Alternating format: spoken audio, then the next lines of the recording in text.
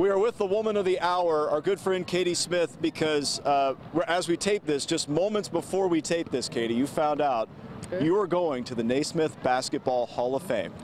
I can't imagine what you're feeling. Crazy, crazy, crazy. I mean, it's really, I, I literally, when I got the phone call, I was like, this is nuts. You know what I mean? Like you grow up in Logan, you play basketball because you love it, and then all of a sudden you're like on the big stage, and then you know, got into the Women's Basketball Hall of Fame, and it's all happening right before I take my first head coaching job. Oh. So there's all this excitement and, and uh, appreciation, and it's really nice because it's later in your career, so you really get to enjoy kind of the experience. I can't tell you how proud we are of you. Ah man, it's so mean, crazy. it's It really great. is. It really is. It's- So, this your weekend's just crazy. You are the most popular per person in town to take a picture with this week as you've gone through the Final Four.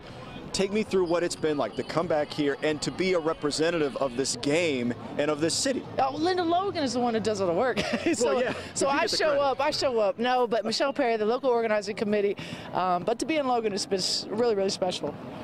You- You're doing great. I mean, this is this is really really cool to be a part of, and, and it's been it's been awesome to see the reaction to it. I, I know it's important to you, but to see the game grow. Ah, it's Katie, that was unbelievable last games night. last night we have two overtime games, and to have the four seeds and it's a knockdown drag out with the talent that's on the floor. You have seniors that are going to the WNBA. You're going to have juniors that are going to be WNBA talents, and for Ohio to be able to see that and fans come to our city, I mean, it's just really been a great thing. Let's break down last night's games a little bit. Obviously, the UConn game is the national headline. Yeah, game. That's the one that everybody's yeah. going to look at. Katie, what, what UConn lost in the semifinal a year ago, and they brought back a more veteran team. How did Notre Dame get this done? Hey, you know what? Notre, uh, Connecticut has a solid team, but Notre Dame, I'll tell you what, I don't know what it is, the injuries, what Muffet's done, but it's been a heck of a coaching job, and it's, and it's the discipline and the determination by them. They're fight all year, but they're talented, and they and they play defense, and, and Muffet schemes very well. So the talent, honestly, and the rivalry, you got you got to remember that they know each other very, very well. They don't necessarily love each other, either. Right. So the the juices were flowing. The competition was great. So I, again, I thought all games were going to be competitive, and Yeah. I didn't know if they were going to overtime.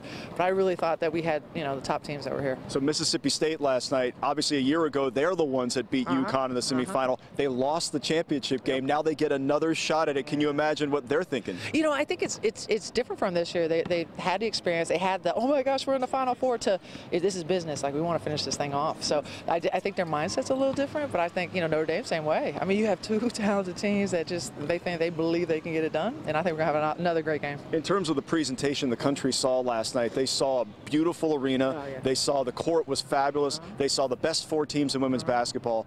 Just take me through what the showcase means, not only for Columbus, but for growing the sport that you care about. Man, it looks it looks good, and, and our city is just set up for the convenience of the arena, the convention center, the hotels, and, and restaurants and everything. Like it has it all here. Yeah. But we also have great fans. Like I ran into so many people last night. Yeah, of course, they wanted the Buckeyes here, but they were rocking Notre Dame stuff in Louisville. Like, might as well pick a team. We got to right. we got to pick a team to support. So that's the type of atmosphere, and that's why we love Columbus, right? I mean, that's because we all get behind it no matter what, and we want it to succeed, and that's why it's, been such a good weekend. Well, as if your weekend could get any better. Yeah, exactly. Later tonight, you're going to receive your championship ring from the Oh, yeah. Columbus Quest. 20 years ago, you guys Yeah. won the championship. 1998. Yeah. You didn't get a championship ring. Nope. You're getting it tonight. Yeah. You get to see all the girls again. You get to have that kind of moment. So most everybody's back, which is nuts. And we've, you know, when you win championships, you have a close knit bond. But in Columbus, I, I mean, be able to play at Columbus, at Ohio State, and then come over as a professional, as an adult, and then get to meet the fans and be friends and, and build relationships was was amazing. And we won a championship. Brian Agler, the, the Sports Commission, and some folks in the community really were, were big on getting uh, some funding for that, and uh, just to have something to, to, to hold on to commemorate our, our year um, is special. And again, it's another connection to Columbus that we have and people have, and I'm happy we're celebrating it. Katie, we're so proud of you. Hey, I'm- I'm. Congratulations, buddy. Thanks, the you guys. I appreciate best. you. Katie Smith, Hall of Famer. Yeah.